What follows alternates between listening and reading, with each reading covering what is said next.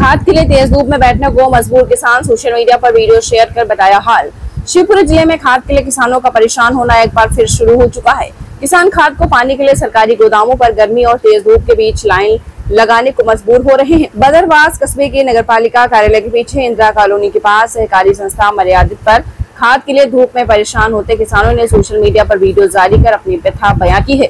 Video में कई किसान पर दूर दराज के गाँव से खाद गोदाम के बाहर तेज धूप में लाइन लगाकर बैठे दिखाई दे रहे हैं। बता दें कि पिछले कुछ सालों से प्रशासन खाद की किल्लत से जूझते किसानों को राहत देने के लिए पीछे के पानी सहित उनके लिए छाव में बैठने का इंतज़ाम करता हुआ आता रहा है। बता दें कि किसानों को खाद की किल्लत के खात्मे और खाद की कालाबाजारी को रोकने के लिए भारतीय किसान संघ जिला कलेक्टर सैयद कोलारस एसडीएम को ज्ञापन सौंपा गया है। इसके बावजूद जिला प्रशासन की ओर से अब तक कोई दिशा निर्देश जारी नहीं हुए हैं। इस मामले में जिला कलेक्टर रविंद्र कुमार चौधरी का कहना है कि खाद विक्रय केंद्रों पर उन्हीं को किसानों के बैठने सहित पानी के व्यवस्था करनी होती है और ऐसा अगर नहीं किया जाता है तो उनके द्वारा जल्द निर्देश जारी किए जाएँगे।